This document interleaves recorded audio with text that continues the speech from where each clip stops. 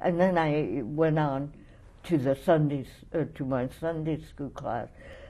The kids I had were about 13, 14 years old. They happened to be all white because our area was white. And suddenly, for the first time, I felt something different that, and I felt too that my own Sunday school class looked at me differently. All the time before, I think they just saw me as a Sunday school teacher, nothing about my background being Japanese.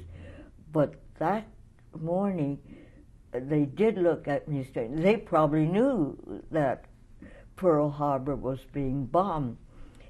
And, uh, well, the Sunday school kids plus myself, we felt sort of funny. We never felt this way before. And so soon as I took them home, well, it, uh, three tall white men were at my door, and uh, my father had just come home from the hospital the day before.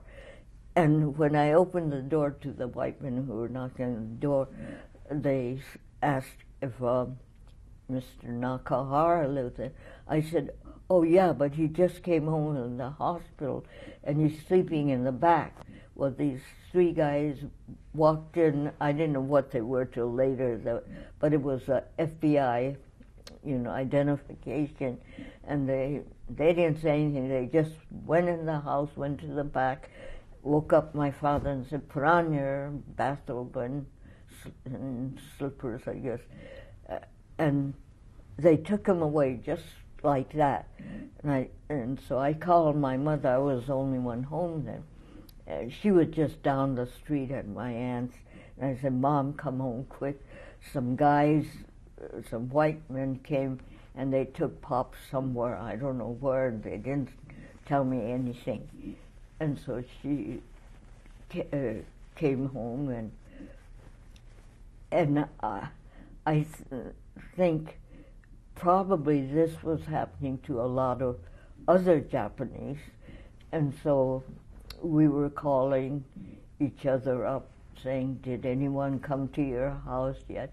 Some of the people said yes, some said no, but they said they all had heard over the radio that Japan bombed Pearl Harbor.